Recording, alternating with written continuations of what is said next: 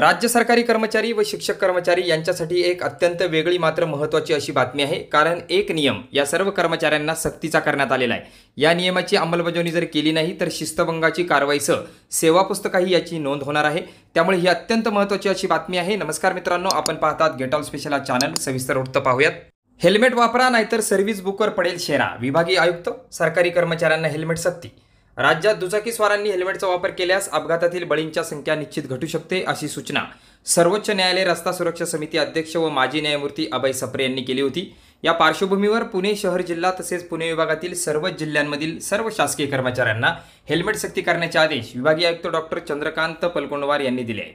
त्याची अंमलबजावणी एकवीस ऑक्टोबरपासून करण्याच्या सूचनाही त्यांनी दिल्या आहेत. त्यामुळे यापुढे सरकारी कर्मचारी विना हेल्मेट प्रवास करताना आढळून आल्यास थेट सर्व्हिस बुकवर तसा शेरा मारला जाणार आहे. राज्य सरकारच्या सर्वच विभागांनी दुचाकी स्वारांसाठी हेल्मेट सक्ती करावी असे आदेशात म्हटले आहे. शहर तसेच जिल्हा आणि विभागातील रस्ते अपघात व पर्यायाने होणारे मृत्यू कमी करण्यासाठी करावयाच्या उपाययोजनांबाबत सप्रे यांच्या अध्यक्षतेखाली गेल्या आठवड्यात बैठक पार पडली. त्याला विभागीय आयुक्त चंद्रकांत पुलकोंडवार जिल्हाधिकारी डॉक्टर सुहास दिवसे तसेच सर्व विभागातील अधिकारी उपस्थित होते.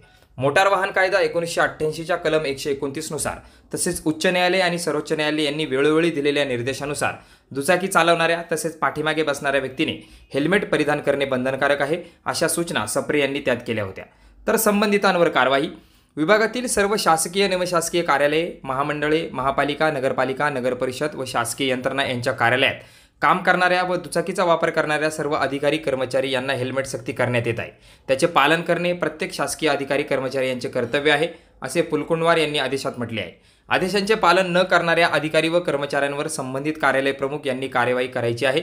तसेच कुचराई करणाऱ्यांविरुद्ध नियमानुसार शिस्तभंगविषयक प्राधिकाऱ्यांमार्फत दंड व मूळ सेवा पुस्तकात नोंद अशाही स्वरूपात कार्यवाही करण्याचे त्यांनी स्पष्ट केले आहे.